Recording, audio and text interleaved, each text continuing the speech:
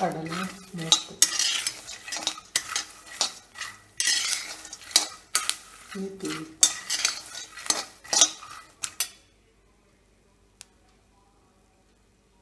പൊട്ടുന്നുണ്ട്.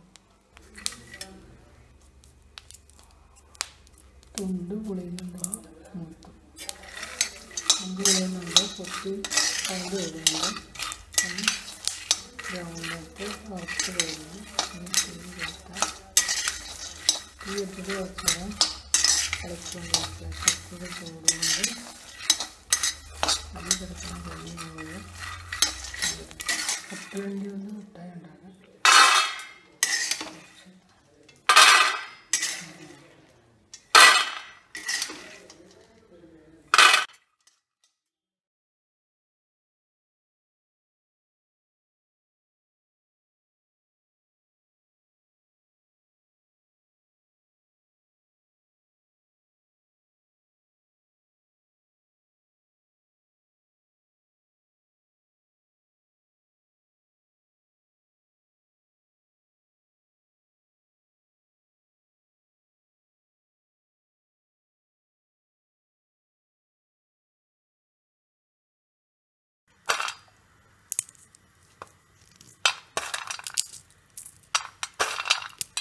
നിൽക്കുമ്പോൾ തൊലി പോകുന്നുണ്ട്.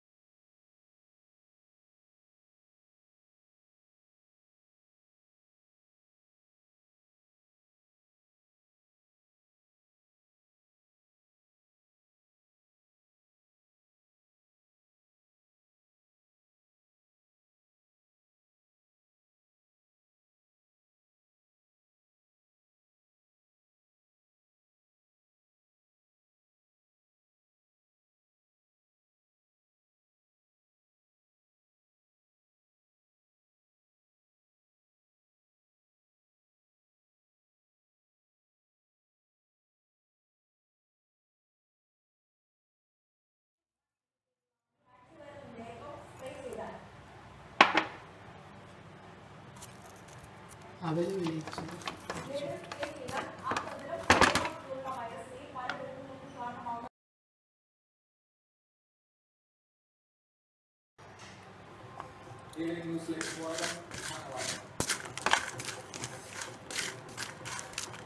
സർക്കാർ ജീവനക്കാരുടെ